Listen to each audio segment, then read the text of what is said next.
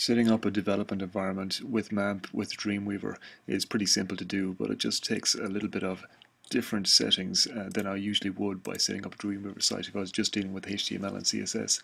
So the first thing I'm going to do is go into my site definitions and I'm going to click on New Site. And in this Site Setup dialog box, I'm just going to type in the name of my project, Library System, uh, I'm going to find the site root folder just like I usually would, but this time because I'm dealing with MAMP, it's probably in my htdocs folder, which is inside the MAMP folder on a Mac, or it might be on a htdocs folder in uh, uh, in uh, XAMPP or any of those places on a PC. Just find wherever that folder is where all your files are, and I'm going to move in, find my site root folder, and choose it. That's fine. Now I'm going to have to deal with servers here as well. But the servers I'm going to deal with when I'm dealing with MAMP are slightly different than just a normal HTML server that I might be uploading to across a network.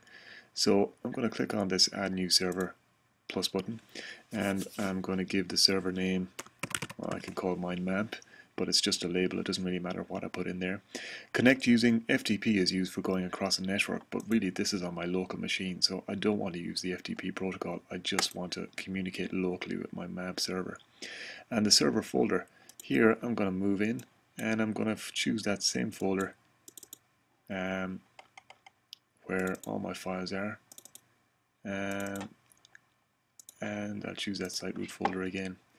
And the web URL this is the URL that we need um, when we go to live view in Dreamweaver so that will act like a browser. So it is really just the same folder that I should see up here if I go to my browser and type it in so I can see the actual menu page of my uh, project. So whatever that is, minus the htdocs, so localhost in my case, php test folder, lab20a underscore library system folder. Um, it's just a site root folder, but just through the URL. So that's the basic setup. I also need to go into advanced here and just tell Dreamweaver what type of server model I'm using, which in my case, if it's MAMP, it's PHP and MySQL. So I'm going to choose on that. I'm going to save all of those options. And uh, now Lastly, just before I leave this site setup dialog box, I need to make sure to check on this testing box here uh, to let Dreamweaver know that it's a testing server. So I'm going to click on save and any kind of alerts come up here it's usually okay just to click OK so the root folder you've chosen is inside the folder for uh, site PHP test that's fine. I'm going to click OK on that. As usual my files panel gets populated with all the different files that are in my site root folder and I can open up any of those and I can see them, that's fine.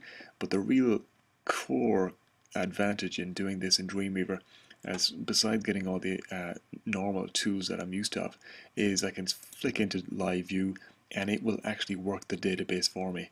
So these are getting populated straight from the database, which is fantastic. And that's how to set up a development environment uh, in Dreamweaver using MAMP.